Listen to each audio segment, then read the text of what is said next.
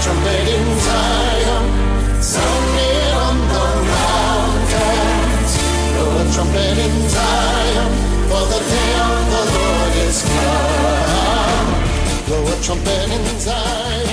everybody, this is Brother Frank, and welcome to another episode of the Remnant Call. I'm glad to be here with you tonight. I'm telling you, this my mind is going crazy with everything that is going on in this world. And I don't mean crazy because I'm afraid and, and scared. I mean crazy because there is so much Uh, wrong that's happening simultaneously. And it's like the churches are asleep. It's like pastors aren't preaching. It's like at the moment that they should be screaming from the rooftops, they are dead asleep and their members are starving to death in their own churches. Well, I'll tell you what, folks, we are not going to be like that.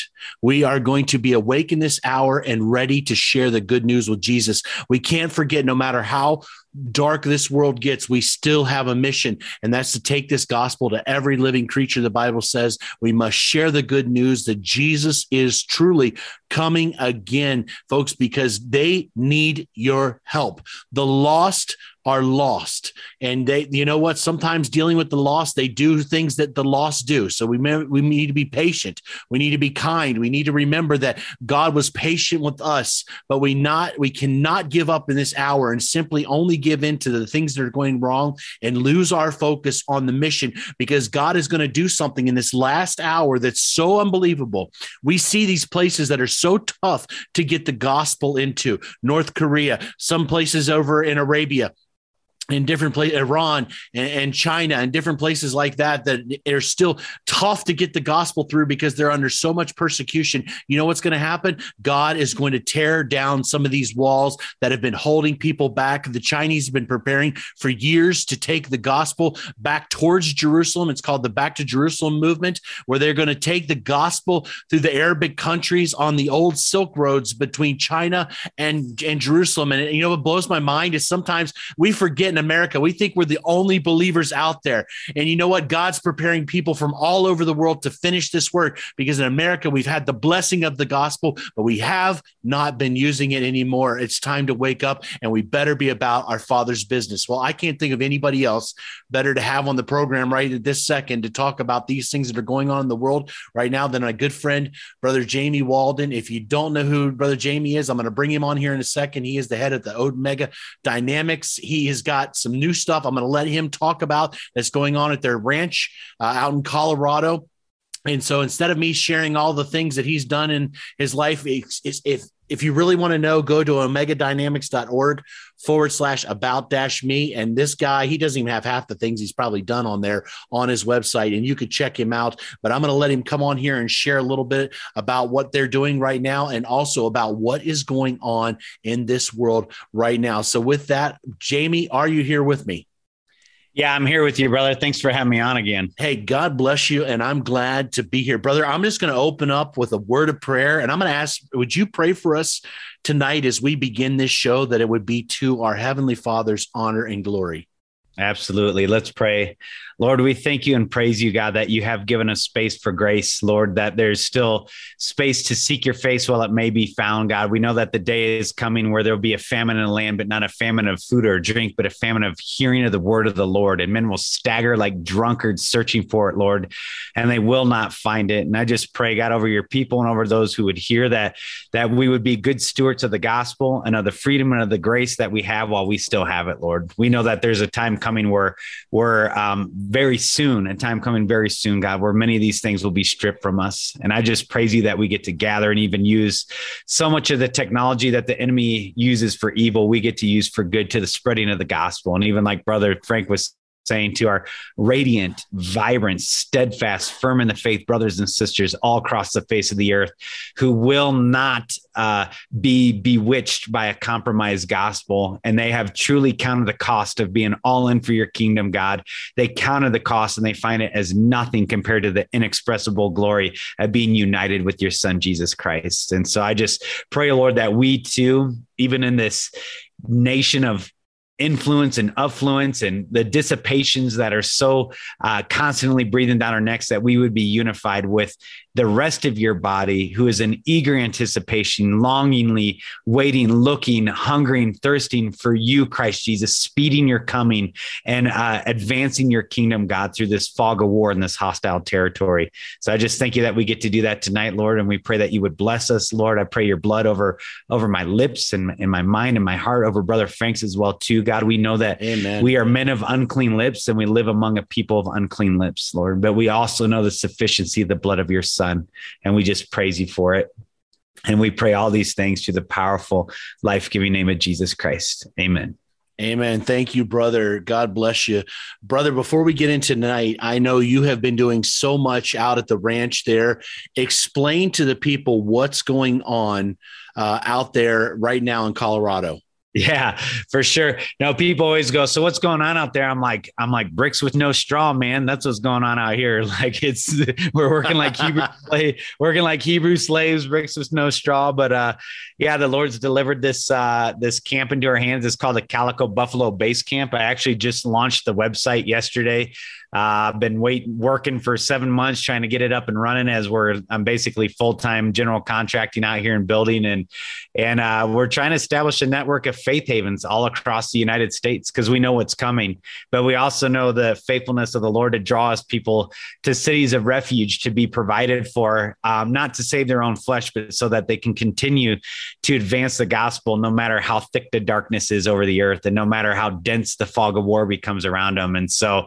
Uh, we're, we're out here working. We call it the Calico Buffalo Base Camp. There's a lot, lot behind the why of that. A lot of it has to do with the ephod, uh, the jewels in the ephod, and the and the living stones uh, that we are now being built into Christ on that new foundation and the new heaven and the new earth and the radiancy and the the vibrancy of those stones that we're being built into. They're calico, and obviously, you know the the buffalo is is the only uh, bovine creature that has never been domesticated because it is so infused with the sense of freedom it cannot be broken because he who the Son sets free is free indeed. And wherever the spirit of the Lord is, there is freedom. So that's why it's Calico Buffalo Base Camp. If anybody was curious, I digress. So, uh, yeah, man, we're out here working. We're actually getting ready to um, host a major uh, worship, worship festival. It'll be the first thing we've done out here, but we're getting ready to.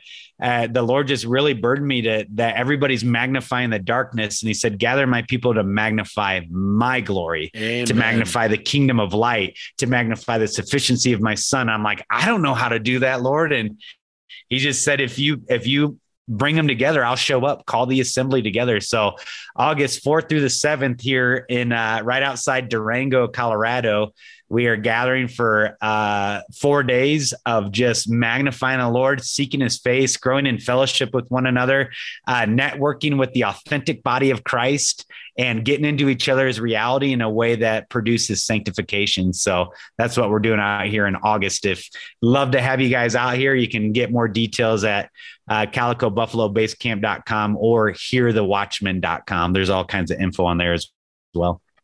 How far, brother, is it from Denver? Just because I happen to be coming out that very following week. We're actually, it's crazy, dude, because the, the mountains, it's seven hours still from Denver. Wow. So, yeah, it's like it takes a long time to get around, man. But we're like literally on the San Juan Mountains.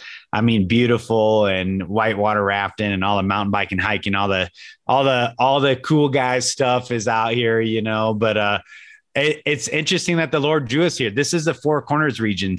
It is the highest spiritually charged place in North America. In fact, even the Aztec and the Mayan and the Incan, their their uh, stories of origin come out of the Four Corners region, where the Anasazi and the Pueblo, and it's they. This is their central place. Like I'm literally, I'm looking out my window. I'm looking at Mesa Verde National Park. It's like four miles away from our base camp, but they say that this is where the gods of old came out of the earth and rule and reigned and taught them cannibalism and all kinds of sexual perversities. And that's why the Anasazi were building in the cliffs in Mesa Verde was to try to get away from the giants, 30 footers that ruled in the land. And then they say a, uh, great, powerful God destroyed them all in one foul swoop. That's what mm. they say.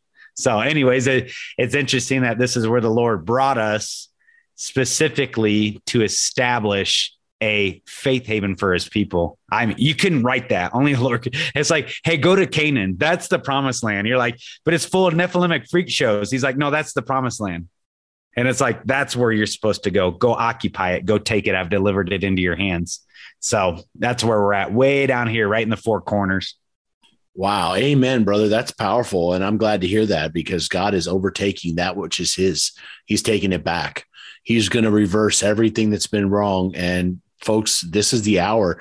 We are not called in the last days to just stand still and do nothing. We're actually called to move forward and to conquer. I mean, the gates of hell cannot hold back God's church. Yeah. And we can, we so often forget that. And we go to this, I don't even know what it is, but this protective defensive mode when God calls us to be of an offensive posture, brother. Oh, brother, I literally just preached on that Tuesday night. I'm like on fire, like my bones are burning. Like I, I was specifically preaching that there is a direct inverse relationship to the nearness of the fullness of time in the activity of God's people. Inverse. As the time draws nearer and nearer for the second coming of Jesus Christ, the people of God ought to be increasingly active for his kingdom, but the Laodicean church has done the exact opposite. They have grown in complacency and so there's this major disconnect because we have been told that there those who are strong in the Lord, those who know their God, they will be strong and they will go forth and do exploits. We're told in Daniel 12 that that um, those who are wise in the Lord will turn many back to righteousness and they'll shine like bright shining stars in the vast expanse of the universe from everlasting to everlasting. You know, we're told to Isaiah 60, like arise and shine, for your light has come. The glory of the Lord has arisen upon you, though darkness is over the earth and thick darkness is over the people peoples, you church, you people of God, arise and shine. You know, Luke 21, when you begin to see all these things, shut yourself in your prayer closet and, and pull on and hold on to your IRA because the gas prices really went up and you don't know what's coming next. That's not at all what it says. It says, when you begin to see all these things taking place, you, radiant church, church, those with ears to hear what the Spirit is saying to the church, you stand up and you look up because your redemption draws nigh. We're told of those who will overcome him, the Antichrist, and all the powers of darkness, everything that comes with this wicked global beast system emerging on the scene. It says, You will overcome him by the blood of the Lamb, by the word of your testimony. Boy, I know my God.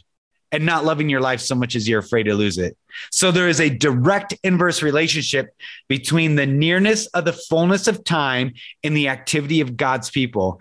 Here is a woeful, woeful statement to those who have squandered the freedom from the sting of death, who have been the wicked servant who buried the talent that they've been given of eternal life, where they should be fearless, where they should be bold, where should, they should be steadfast, firm in the faith, dawn in the armor of God, being wise, not unwise, redeeming the time for the days are evil where we should be that, where you have squandered it for self preservation, is the chief attribute of Laodicean church age self preservation because of a love of pleasure rather than a love of God, a love of pre- pleasure, baby boomers, retirees, IRA, 401k, actuary, penny pinchers, and everything that comes with it.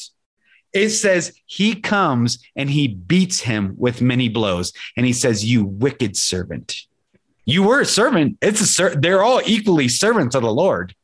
But he calls that one wicked. We were speaking about this off air about I can't remember which letter to the church it is it's one of the one of the seven letters to the churches in revelation you know which there's a lot of dispensational stuff going on there and you know partial fulfillment full fulfillments and all this different stuff going on. But it says specifically repent but if you do not remember who he's talking this is the bridegroom speaking to the bride this is the bridegroom speaking to a covenanted people, the church. It is a letter to the to the church. He says, "Repent, but if you do not, I myself will come and fight against you." And actually, the original translations renders, "I will come and make war against you."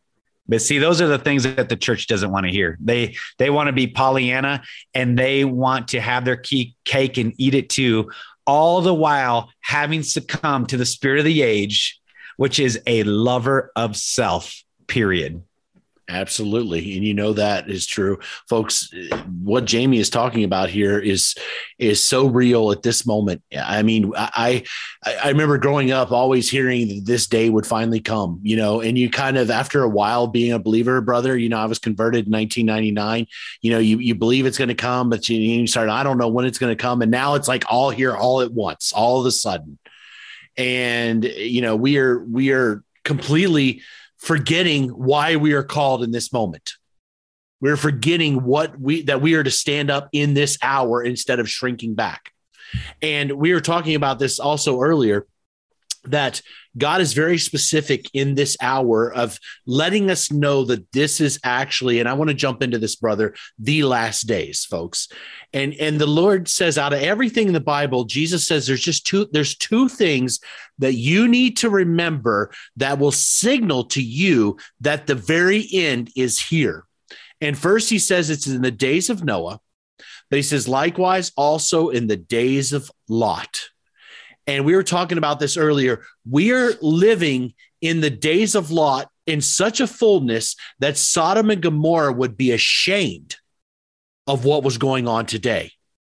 That's how evil we are. Now, brother, I I didn't realize this the other day. I've read the story through a million times. It seems like a bunch of times in, in Sodom and Gomorrah, but I picked something interesting popped out. Someone had mentioned it, and I was like, I never saw that. I went back and reread it. This is what it said. It said that when the angels came, it said that both the old men and the young came for them.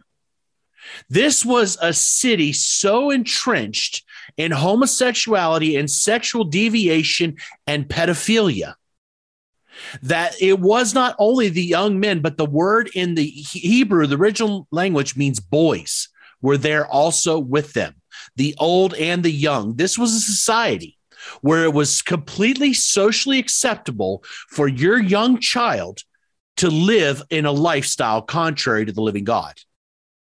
That is the reality that we are now in today. And then you couple that with Romans chapter one, brother, and I'm going to turn this back over to you in just a second.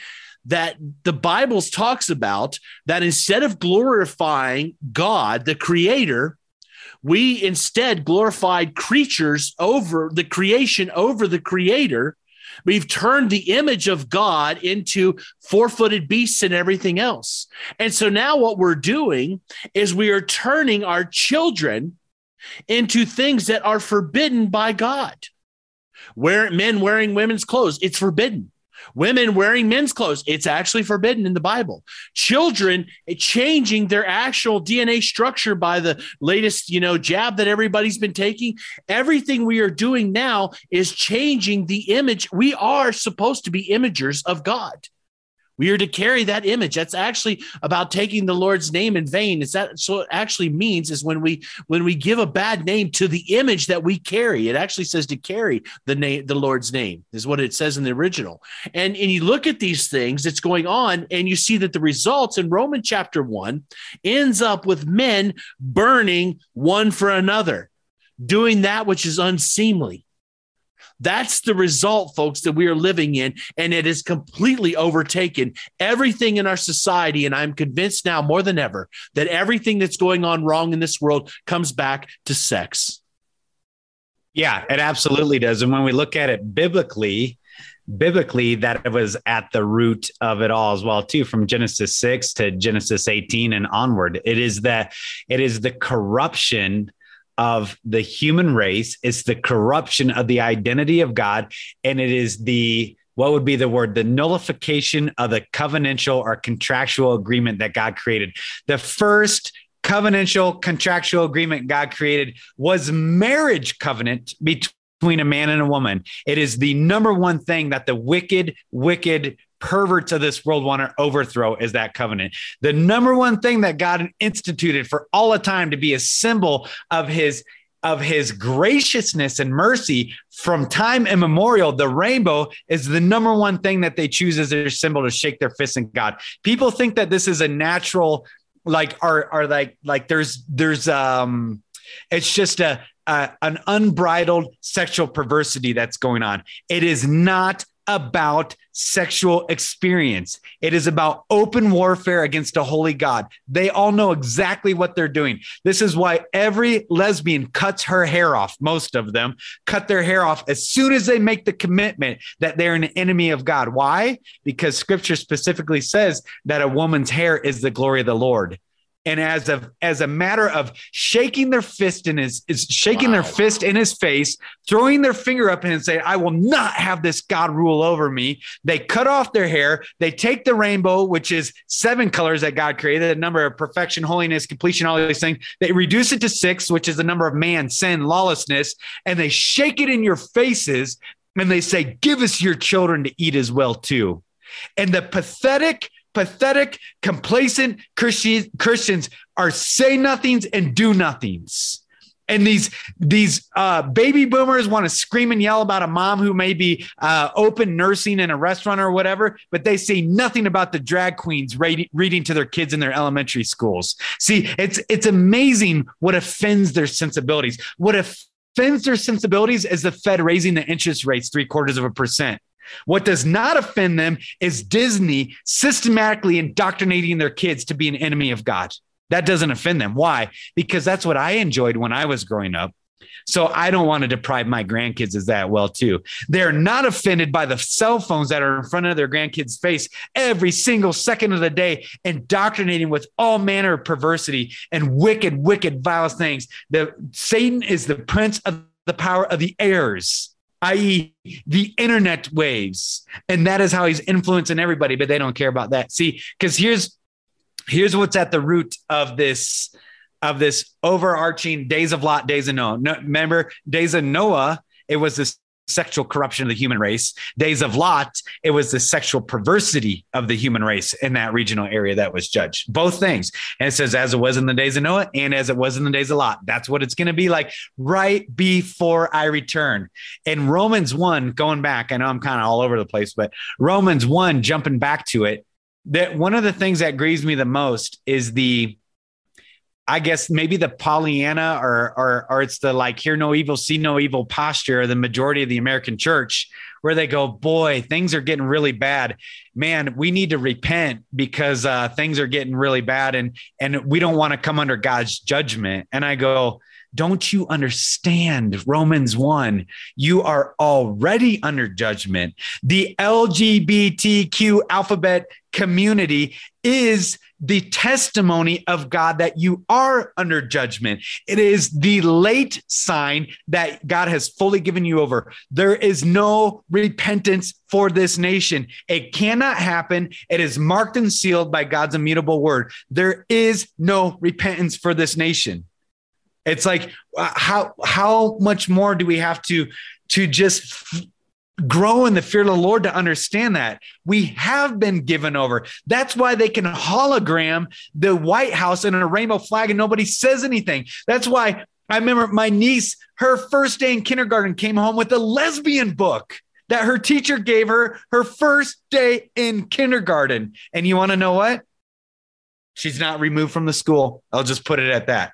Uh, Nobody's removed her from the school. Man, that's and horrible. and so like it goes on and on and on. This is a late sign, ladies and gents. This nation is under judgment, and because this nation is under judgment, guess who the Lord deals with first? Ezekiel nine. He says, "Begin in the inner courts first. That's, right. That's who you begin with, That's because right. there's a reason why this is so rampant, and the reason why is because you say you're wealthy and need needed nothing. You meaning God's people. We're That's not right. we're we're wealthy and in need of nothing. He goes, but you don't understand how I see you. Mm. You've never asked me how I see you. Ask me, Lord, how do you see us? because I feel like we're crushing it. We got satellite campuses and we got capital campaigns. And have you seen our youth ministry? And have you seen our influence and affluence? God, we're wealthy and in need of nothing. But nobody goes, God, how do you see us? And he goes, I'll tell you very plainly, you are wretched, pitiful, poor, blind, and naked. And I'm going to give you a little bit of counsel. You better repent. Absolutely. And you better purchase from me white raiments to hide your nakedness. And you better purchase from me gold refined in the fire. You better purchase from me healing balm so that you might see. Repent. I am on the outside trying to get back in to your hearts and to your minds and to your daily disciplines and to your to your effectual religion. I'm trying to get in. But you say we will not have this man rule over us. What's it saying? Jeremiah 6? The Lord goes, To whom can I speak and give warning? Uh, their ears are closed so they cannot hear. My word has become offensive to them. See, we're offended by the word of the Lord. We don't even want, you don't, I mean, I I could maybe this is facetious of me and presumptuous. I hope not, but I, I would presume that 99% of American pastors will not touch Romans 1 during Pride Month. Uh, brother, I, I, I want to say something about that. Thank you for coming right to there because this is exactly what I wanted to say, folks. These you have to stop. Almost, I had to learn this years ago. You got to stop looking at these poor people because they're being misled. The truth is, their pastors are their judgment upon them because this is what they want to hear. Yes. Yeah, Amen. They, they want to hear this, and the church has already been judged.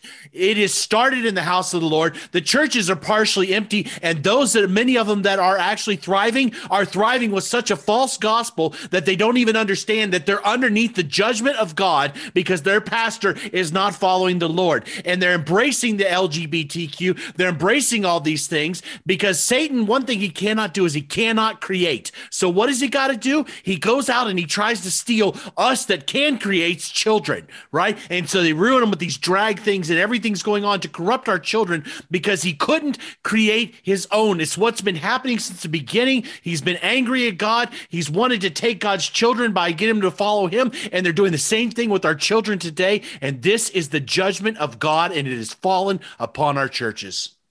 Yeah. And it says, it says, you know, my people are destroyed for lack of knowledge. And because they've rejected knowledge, I will reject them from being my priest and then it goes on to say like people like priest now hosea 4 right? Like so like so this this is a reality. It's totally true. I've always said who would remain in a church? And and besides like openly i think one of one of the biggest deceptions within the american church is they go well we don't openly support that. I totally stand against that. And i go no you don't you won't say a word about it because you're scared about being persecuted, mocked, scoffed, or reviled for the cause of Christ. Therefore, you forfeited your blessing because it says, Blessed are you. See, you won't weep and mourn over the sins of the people and over your own sins and the sins of your church and the sins of your pastor, the sins of your nation. You won't tear your clothes. You own a suit, but you do not own a suit of sackcloth right? Like, like you own beautification project products, but you do not have a bucket of ash to throw on your head because you will not experience discomfort for the cause of Christ. See, you are a lover of pleasure rather than a lover of God. You have the form of godliness, but you deny the power thereof, right? You are a lover of self.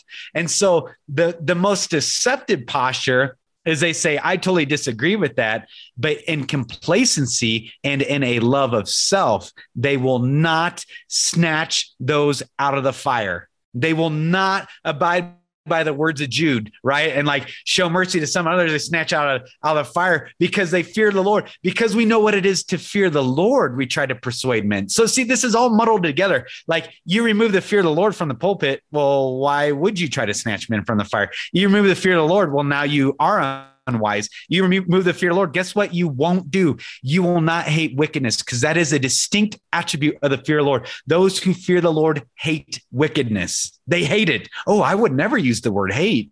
I love because Jesus loves. It's like then you don't know your you don't know your God. You don't know the King who bought you. You know of him, you know some, but you don't know him in full. But then those who do know the Lord, it does say like they will be strong and they'll go forth and do daring feats of valor. That's what that word exploits translates to. And and so the complacency, it says the complacency of fools will destroy them. Woe to the complacent. Woe to you who feel secure in Samaria you most notable men of the foremost nation, woe, woe, woe to the complacent. And, and where the Lord always takes the blame, always, always, always takes the blame is to the shepherds. I mean, I remember doing a word study one time, just going, words, mm. my word study is like OG, like old school, like page by page. I just flip through to see things that I've circled, you know, whatever over the years.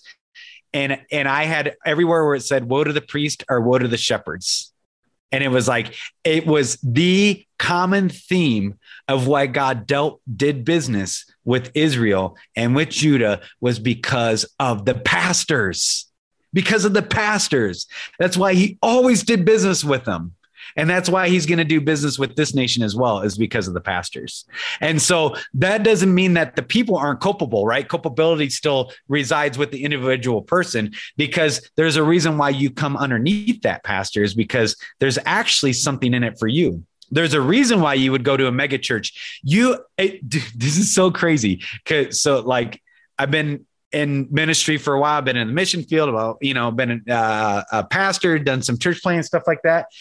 People will not give, they will not donate until you look super affluent then they want to give everything to it because they want to they want to show that they're a part of something affluent. It is the most disgusting thing ever. When you're grinding it out because you just want to be faithful to the lord and you fear you walk in the fear of the lord and you're entrusted to him and every day you walk by faith and you feel like you're treading water and you're like lord just help me be obedient again today and not grieve your spirit. Help me to be obedient again today and not grieve your spirit. People will walk by you and scoff you and mock you and be like what a pathetic thing and as soon as you get put on some kind of pedestal where there maybe is some degree of worldly uh, validation, everybody wants to throw their money at you.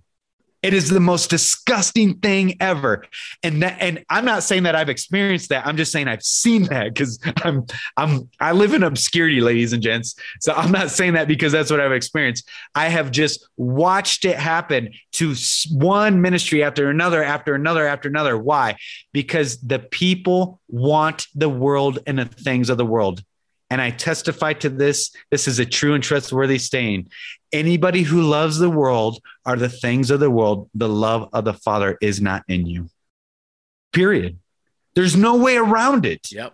There is no way around these scriptures. Do not be unevenly yoked. What right is, what fellowship is there between light and darkness or between righteousness and lawlessness? BLM, Antifa, LGBTQ, the United States government, voting Democrat, what you name it. What you cannot be unevenly yoked. Are you freaking kidding me? You think you can justify your, your voting record because of their policies? You are yoked with lawlessness, saying that you stand for righteousness. You love the world and the things of the world, saying that you represent a king and a kingdom. It's like the, the disparity and the self deception of our hearts is so grotesque in this late hour. I don't know how the Lord continuously restrain, other than He is so loving and so merciful and so forbearing and filled with loving kindness beyond anything me and my carnal corporal reality can understand. It is amazing that he wants none to perish, that he is not slow in returning, as some people count slowness, because he is patient, waiting for as many sons as possible to turn towards glory. It's insane given the rate at which we shake our fist in his face, all the while saying we're doing this to honor you, God. Amen and folks, you know, it wasn't wasn't too long ago that it, the contrast that really it, this was probably maybe a week or so um, or two weeks ago. I was coming across the early. There was three different accounts um, of James, the brother of Jesus, martyrdom that happened in ancient Jerusalem. Uh, Clement was one, uh, Josephus, and then um, another guy i can't think of his name he was a historical uh, writer and, and recorder uh, and basically the only the only writings they had left is what eusebius had quoted for him, from him. But they were talking about how james went into the temple and he prayed and he cried out for the people so much jamie that his knees had become horny almost like a camel's knees because they were so worn out from prayer and seeking the Lord's face and crying and interceding for the people.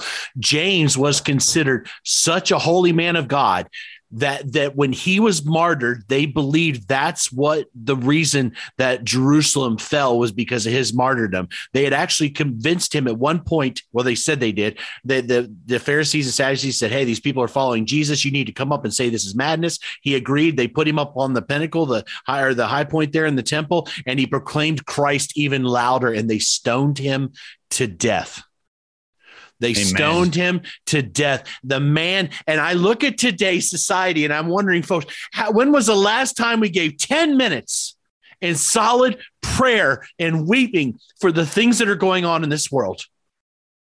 When was the last time we cried out for the sin of these drag queens sitting in children's classrooms, teaching them ungodly things while their parents allow this stuff? If your child is being indoctrinated by this and you don't do something, shame on you. You know, my my favorite quote I hear all the time from parents is, "Well, our kid, we want our kids to remain in that environment so they can be a light for Jesus." And I'm like, "Wow, how's that working out for you?" As what are what is 99% of kids reject Christ as soon as they get out of their parents' household? How's that working out for you? You know? And it and it's true. I I've, I've been told this by family members that are full-time pastoral ministry.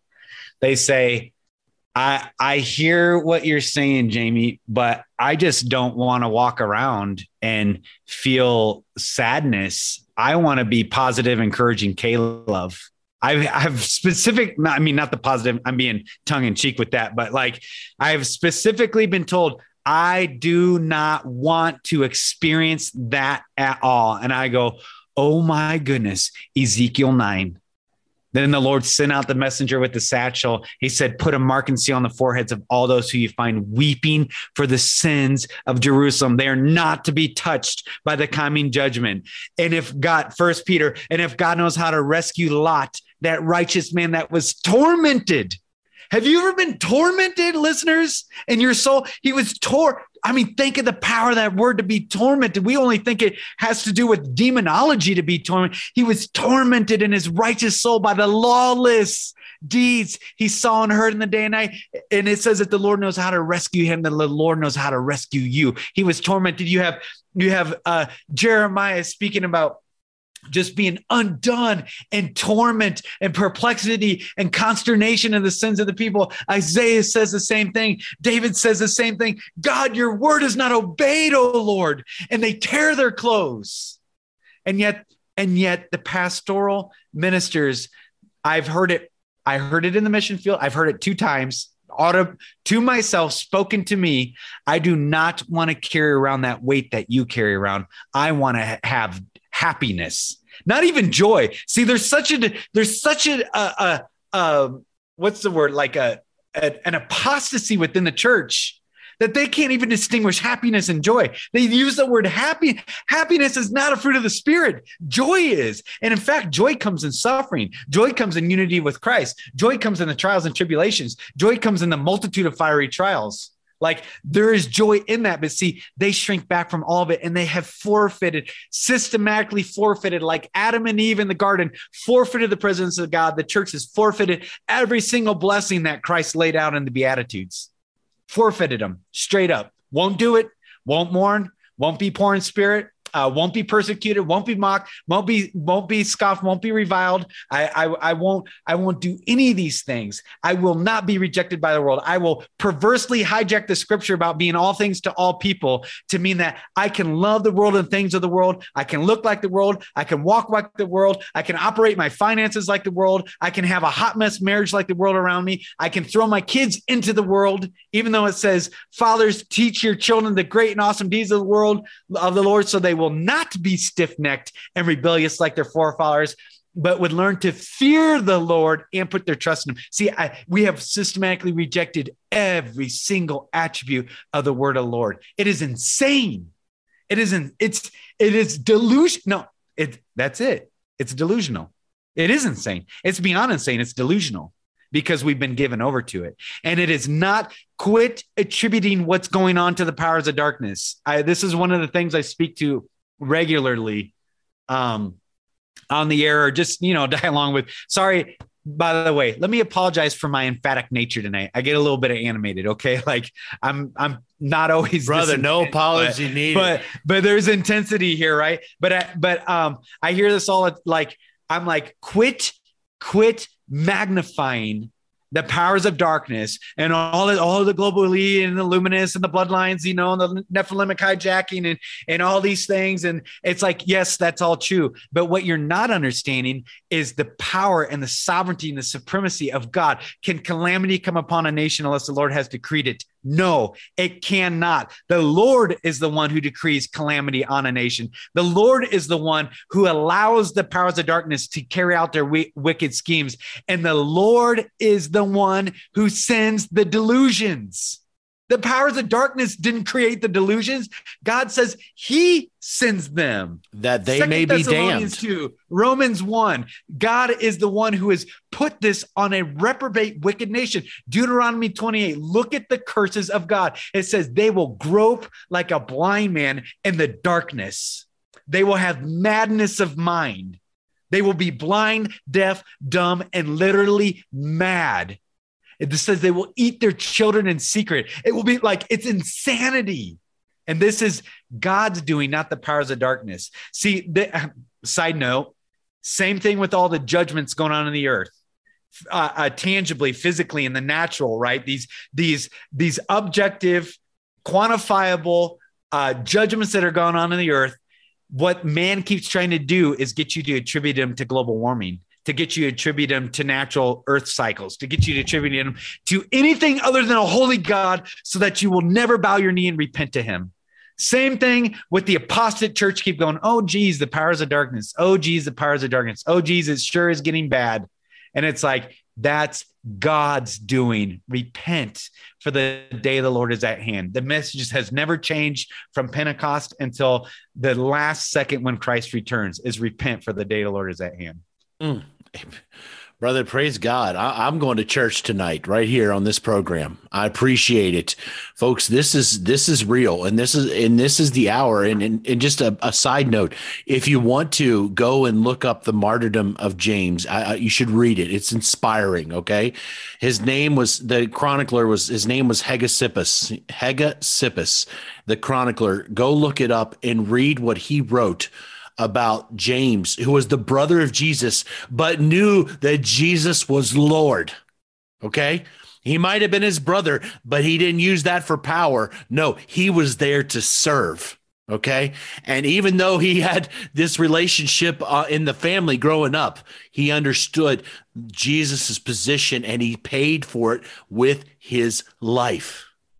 Brother, I, I'm telling you, this kind of commitment, God is calling us to this James style. I'm not saying you have to beat your knees up as bad as James. I'm not talking about that. What I'm talking about is that there's this commitment that says it's all about Jesus. It's all about the Lord. It's all about his kingdom. And it doesn't matter what else is going. Folks, we were talking about this, Jamie and I before. I'm still running a business. I, I I understand I, I've got to work, but if it all burns, it doesn't matter because I'm not taking a dime of it with me. I'll be so glad when the stress of this world is over with.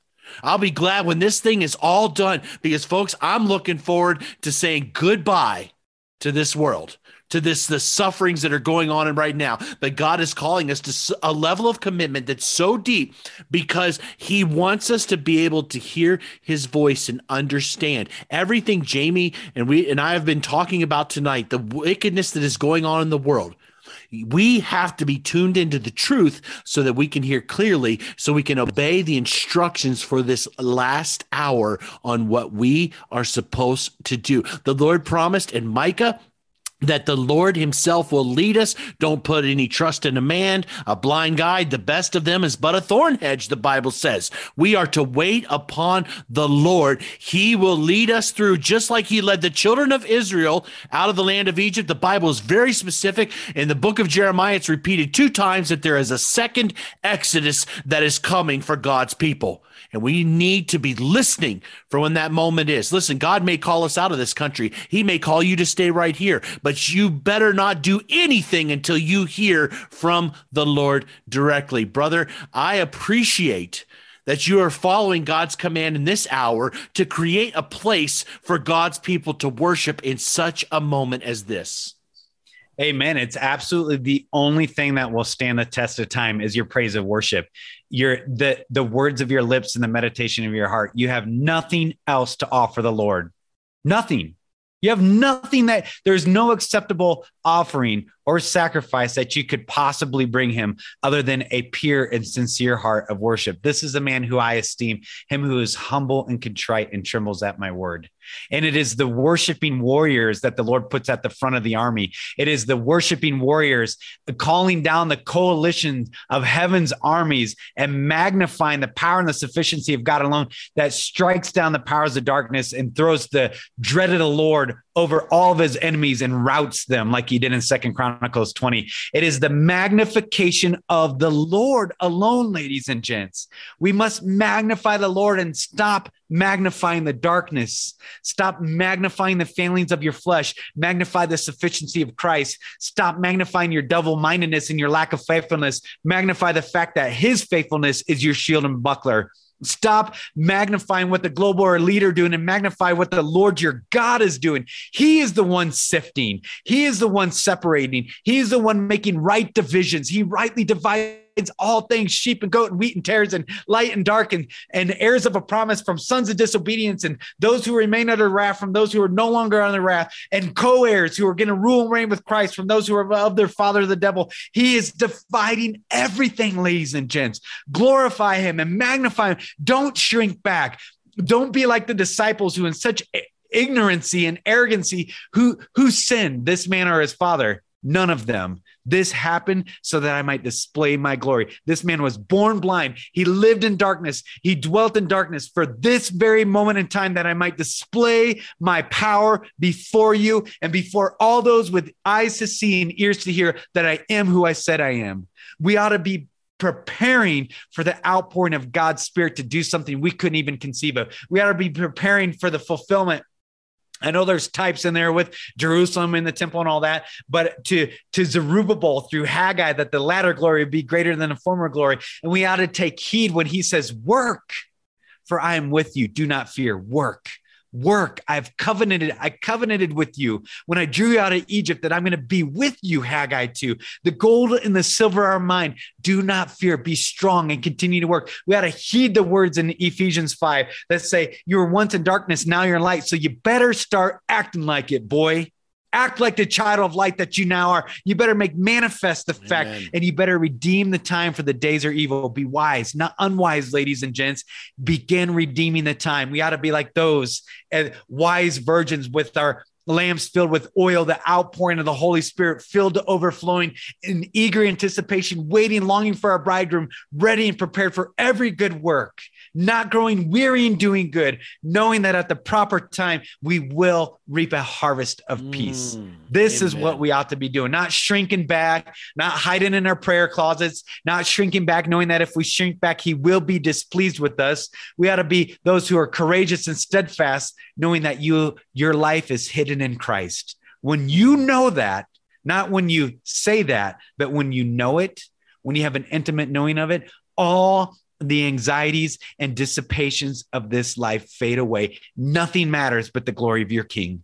Mm. And it is all literally light and momentary afflictions compared to the inexpressible glory of being united with Christ Jesus. I know I'm mixing all kinds of different verses together, but this is the this is the power and the sufficiency of Christ in us that the church must know in this late age. And when we testify to it, remember they overcame him by the blood of the lamb I'm not scared of losing my life. I'm covered by the blood of the Lamb. I have eternal life in Christ Jesus. My life is hidden in him. By the word of their testimony, boy, I know my God. Mm. I know my sonship. I know my king. I know the king that I serve. I am going to testify to all day long. And I do not love my life so much as I'm afraid to lose it because I understand and I have a knowing of the sufficiency of Christ. You know, the most fearsome dude on the field of battle was a guy that had no fear of death because he is he was already dead to self. Oh, He was already dead to self. He went on the field of battle knowing that nobody could take his life because he was willingly laying it down. He didn't care what the cost was. That is the man to be feared. That is the man that goes forth spiritually in the strength of the Lord and does daring feats of valor, not for his own vain self exaltation, that the Lord's fame and renown would be known in the land once more. That's what it's all centered on, ladies and gents. And that's the posture with which we should be seeking the Lord, glorifying the Lord, magnifying the Lord, letting the Lord undo us, consecrating ourselves to the Lord. Let Him search out our heart, surrendering things that we've been holding on to for a long time, walking in the radiancy that Christ died to make us. He died to make you ready. We ought to be walking in that and such a knowing that literally nothing on this earth, like Psalm 112 says, not even the bad news, we would have no fear of it. Our hearts are steadfast, trusting in the Lord. Our hearts are secure. We Mm. have no fear. Amen. Amen. Folks, none of this tonight that we've been going over. I I mean, we we Jamie and I talked at the beginning, so much on our minds that we just said let let's just let God lead. Right through this program. This has not been a written out diagram we're following. Folks, I believe that the Lord wants us to truly get in tune with him. And and this, if you remember one thing the devil wants to do, he wants to take away that daily sacrifice. It was the whole abomination uh, uh, of desolation. You remember in the Bible. This is not the time we take away the daily sacrifice in our life. Folks, if you're not aware, the entire sacrificial system is still alive in the New Testament. It's spiritual. It says we are to build up, we are to offer up spiritual sacrifices, it says in First Peter. And it says the sacrifices of God are a broken spirit, a broken and contrite heart. O God, thou will not despise. See, if you're brokenhearted right now, if you're tore up over what's going on, God sees your sacrifice. He understands it. When we praise, the Bible says that the sacrifices of praise, we are to give sacrifice of praise to God continually. And the Bible says that our prayers are like incense. Okay. They come up as incense before his altar. Amen. This is not the time to remove the daily sacrifice, but instead, folks, we need to make sure that it is going on continuously in our lives at this hour, because this is how we are going to combat and keep from getting sidetracked. It's by putting our focus on Christ. You have not the power. You are not strong enough. You're not good enough. You're not perfect enough. You will never read enough scripture to be able to take care of yourself in this last hour, but God will do it. Amen. But the daily sacrifice must be reinstituted into the body of Messiah at this moment. Brother, we are coming to the end of the show, and I want just to end with a word, something to share with the people because we've talked about everything that's going on. Brother, what is your advice for this hour for the people of God right now? My advice is to get very, very serious about magnification, right magnification. And the magnification is of the Lord. I speak about it all the time. Magnify whatever you magnify becomes exponentially bigger in your field of view. Hence magnification. And all the periphery gets blocked out. It zooms in, and all the anxieties and dissipations of this life, by the way, all the anxieties and dissipations. Dissipations means indulgence in sensual pleasure and expenditure and frivolous consumption. Sound like an american christian american churchianity Yes. it says watch out lest the dissipations and the drunkenness and the cares of this life overcome you so the day of the lord comes upon you while you're unaware. So you magnify the world and the things of the world. You magnify the world and the things of the world it is time that the people of God magnify the Lord alone. King David had such an understanding of the Lord's heart that he commanded his faculties to do it. He took dominion through the spirit in him. He took dominion over his faculties. He said, Lips open, tongue praise, mouth sing, heart magnify, eyes look. He commanded his faculties because he knew that nothing, nothing, nothing in his life would satisfy. other than the very near presence of the Lord in his life. Amen. He did not care about kingship. He did not care about influence. He did not care about affluence. He did not care about validation. He did not care about the riches of this world. He wanted God's presence in his life, so much so that he longed to be back on the mountains shepherding sheep where it was just him and the Lord walking in the coolest of the night, where he could commune with his God once more without any of that garbage surrounding him. It is time that we magnify the Lord and we make space for him to do what only he can do. We cannot magnify the church and we can't magnify uh, doctrines and theologies and we can't magnify movements and platforms and we can't definitely can't magnify politics or anything else as the solution. It is the Lord God alone, the Holy One of Israel. Look upon the rock from which you were cut, the quarry from which you were hewn, the Lord God Almighty. You, like living stones, are being built upon that. And we have a mission set that is immovable and shakable in this generation for those with ears to hear. Let him hear what the Spirit is saying to the churches. Amen, brother. Thank you for that. Folks, take heart. Your God is alive and he's on the throne and he's got a plan for this last day. Nothing that's happening in your life and in this world has taken him by surprise. But we need to institute that praise, as Brother Jamie was just saying, begin to magnify God, lift him up, sing to his name worship him. Folks when we get into prayer and you feel like your your prayers aren't going above the ceiling it's okay. Tell the lord about it. Father i'm trying to pray right now and i'm just not feeling it, Lord. I feel like nothing is going on, God, and I need your help to pray. Lord, I feel like this is nothing but brass walls all around me. Lord, I don't understand it right now, but I'm just going to stay here, Lord, and I'm going to keep praying because I know, God, you will break through. And folks, sometimes we got to be patient. We got to be patient but know this that if Job would have went upon his feelings, he would have cursed God and died. But because he knew the truth, of who his father was, who his heavenly father was. He stood by the faith in the word of God. Then he knew that God's word was better than his own feelings.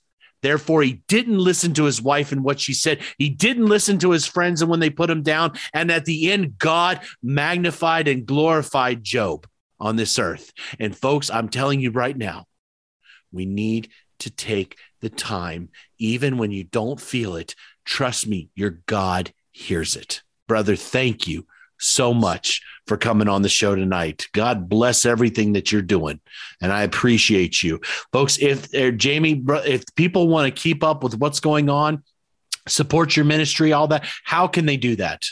Yeah. Um, yeah. They can find me at omegadynamics.org. That's kind of the book, you know, landing page or whatever, or uh, calicobuffalobasecamp.com. Like that's just what the Lord's led us to really focus on now is, is, uh, you know, um, setting up networks of home churches and faith havens and drawing God's people together to be strengthened and equipped, not for the days that are ahead, but the days are that are here right now. Mm-hmm. And again, just as a, as a, as a quick little plug, I guess, for lack of a better word is we would love, love, love to have you out here to magnify the Lord. Cause I know like waiting for the Lord in Jerusalem at Pentecost, that those who are willing to wait on the Lord, they will renew their strength. They will. That's a declarative statement. They will renew their strength. And we know that the Lord will move mightily when his people magnify them and stop magnifying themselves. Amen, brother. Thank you so much. God bless you, folks. Keep looking up. It won't be long. Your God is coming down. This is Brother Frank and Brother Jamie Walden on the Remnant Call saying to everybody, good night and shalom.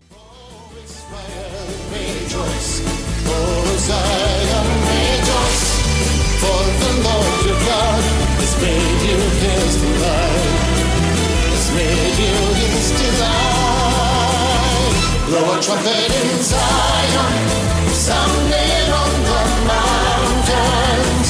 Blow a trumpet in Zion, for the day of the Lord is come. Blow a trumpet in Zion.